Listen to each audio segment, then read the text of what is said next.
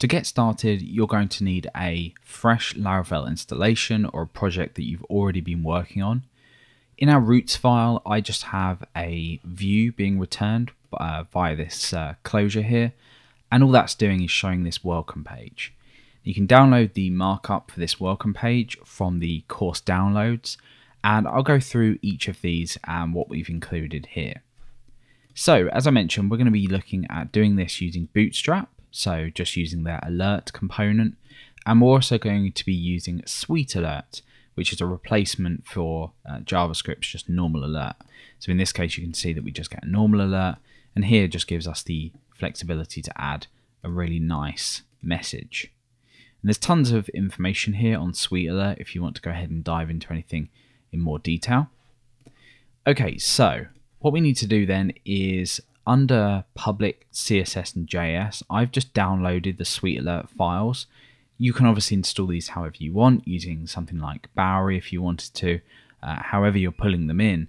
As long as you have them available within your project that you can include in, then that's great.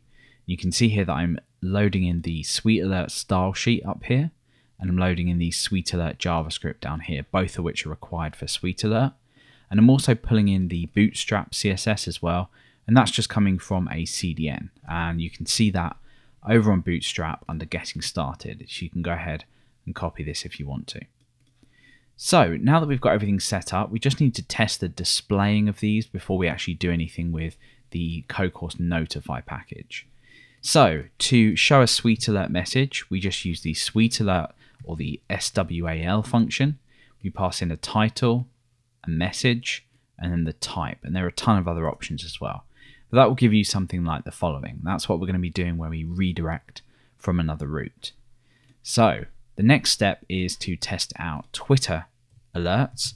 And for this, we create a div with the class of alert, and then we give it a type. So we have something like alert success, uh, or anything like that, alert error, whatever you want to do. And you can see that renders that there, and you can just write a message in there, and you'll see it like that. So pretty standard stuff. So once we're in this position, we, we can actually go ahead and install the Codecourse Notify package, which will allow us to easily, from any controller or with any route closure, flash these messages and display them within a view. So let's head on to the next part where we actually download Notify.